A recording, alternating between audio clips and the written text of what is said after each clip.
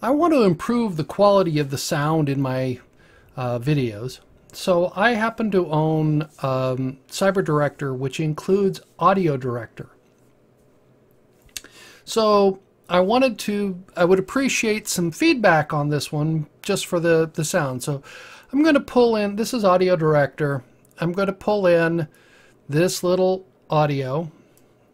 And this is in my, my sub subscribe audio. So we'll just listen to a little bit of it and we'll see how that sounds. So if I... I look forward to learning what you think about this video. Okay. So that's the way it sounds.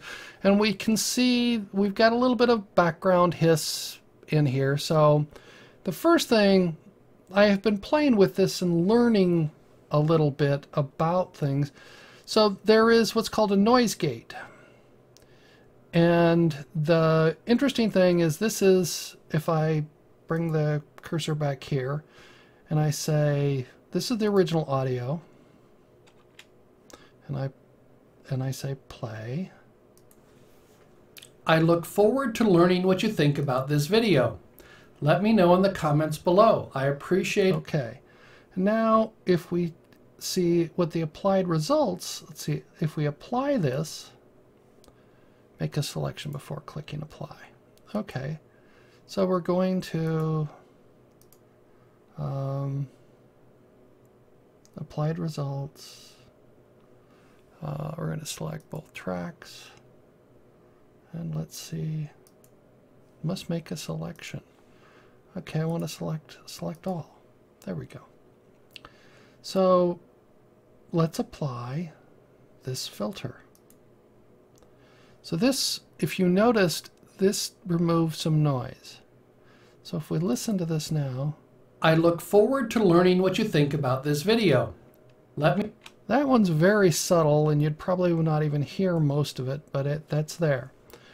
But I found this article here. Let's see if I can get this over here. And this one is talking about, it's using, I gotta get, there we go. This is uh, warm a voice and improve clarity. So he's talking about uh, different parametric uh, about how to play with parametric.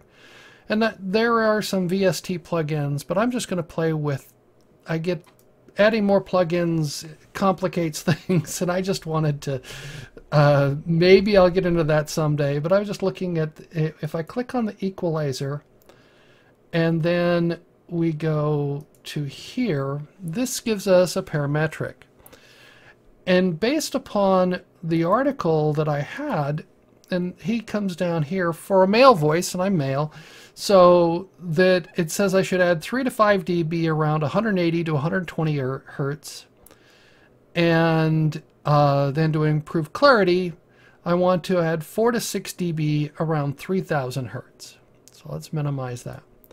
So I want, I have, these are the hertz. This is the, this is my, uh, equalizer, such as it is. It's not a terribly powerful equalizer, but this is what comes with it. So it says around 200 hertz. Now I don't have, I have 125 and I have 200 hertz, but we'll, we're going to, let's put 3 dB, that's 3 dB there, and we're going to want to put 4 dB at 3000 hertz. Now we have either 2000 or 4000.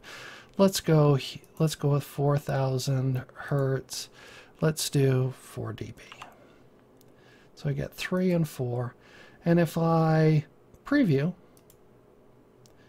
I look forward to learning what you think about this video. Let me know in the comments below. I appreciate all your comments. If you like the video, give it a thumbs up. If you don't like the video, give me a thumbs down. I appreciate both forms of feedback. You're so you're seeing the difference as I click back and forth. So I think I'm going to try this with uh, the uh, this video. I'm going to apply these settings to this and I would kind of like your opinion. Does, from what you're hearing of the sound of this, does, I'm going to put the recording up straight, but you're hearing uh, the subscribe, and I'll probably put uh, that's the thing that I play at the end of the video. And I would like to your opinion of what you're hearing in here. Is it worth doing this to my audio as I move forward?